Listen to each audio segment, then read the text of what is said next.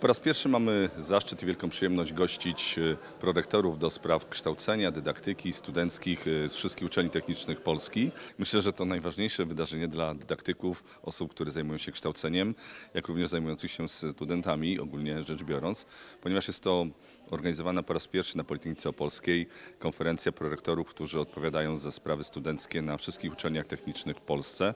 Wiadomo, że Opole jest miastem studenckim, przyjaznym dla studentów i dlatego obecność prorektorów, którzy tymi sprawami się zajmują, jest dla nas wielkim wyróżnieniem. Jesteśmy z tego bardzo dumni i zadowoleni.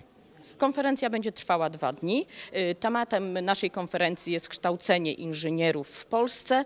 Wymieniamy się doświadczeniami, jeśli chodzi o tą tematykę, a jednocześnie dbanie o studenta i y, pomoc studentom y, w studiowaniu na wszystkich uczelniach technicznych w Polsce. W dniu dzisiejszym mamy zaszczyt w murach Politechniki Opolskiej gościć ponad 30 prorektorów z uczelni, polskich uczelni technicznych. Jest to dla nas ważne wydarzenie, kolejne wpisujące się w budowanie e, wizerunku Politechniki Opolskiej, bo e, nie tak dawno gościliśmy e, prorektorów do spraw nauki. Dzisiaj gościmy prorektorów właśnie do spraw studenckich i organizacyjnych.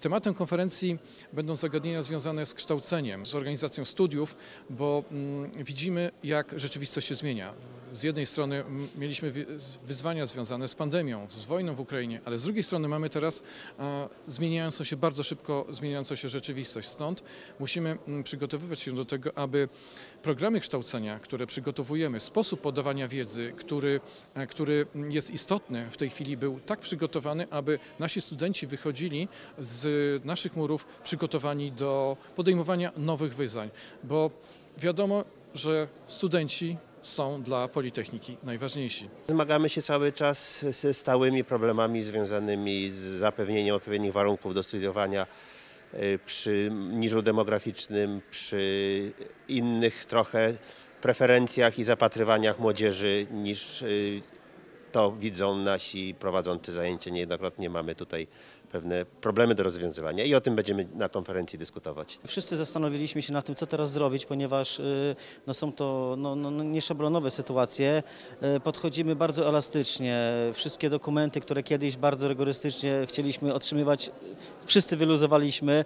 My jako tutaj y, projektorzy do spraw studenckich kształcenia szczególnie musimy być takimi elastycznymi ludźmi, takimi jesteśmy i robimy wszystko naprzeciw tym młodym ludziom, żeby im było naprawdę jak najlepiej, jak najłatwiej. Za moich czasów tak nie było, ale, ale, ale robimy wszystko, żeby było dobrze. My oceniamy kierunki techniczne, oceniamy jakość kształcenia na kierunkach technicznych i myślę, że ta jakość rośnie.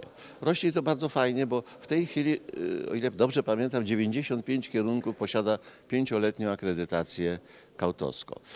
Dzisiaj, znaczy od kilku lat, akredytacja kauto jest równocześnie akredytacją europejską, bo nadajemy również tak zwany Eures Label, czyli europejski certyfikat, y, odpowiednio dla studiów czy pierwszego, czy drugiego stopnia i wydaje mi się, że naprawdę nie mamy się czego wstydzić.